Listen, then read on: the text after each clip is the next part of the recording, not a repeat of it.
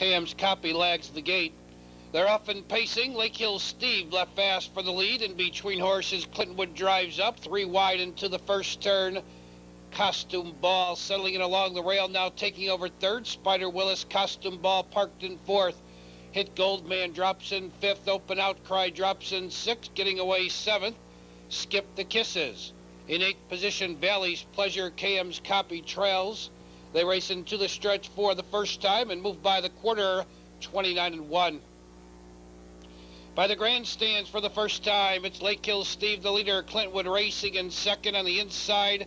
Spider Willis third along the inside. Hit Goldman fourth. Costume Ball, the filly on the outside, parked in fifth. And racing removed from the rail is Lake Hill Steve on the front end. They move into the club turn. Lake Hill Steve back on the rail by a length and a half. Racing in second, Clintwood by two. Spider Willis third. Hit Goldman, no place to go fourth. Costume Ball hung out there fifth. Moving up on the outside, six. Skip the kisses. Open Outcry, no place to go. Seventh, Valley's Pleasure on the outside. Eighth, KM's Copy Trails, half in 101 and three.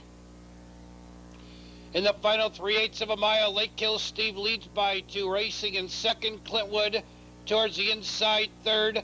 Spider Willis, three wide with a rush. There goes Skip the Kisses, fifth, fourth, third, and moving up three quarters in 131 flat, 29 and 2 for the third quarter.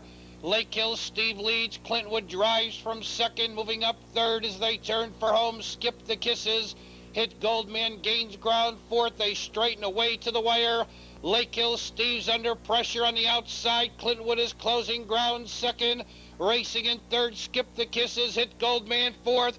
Lake Hill Steve on the inside. Clintwood's got him, and Clintwood's going to win it. Lake Hill Steve second, skip the kisses, a game third.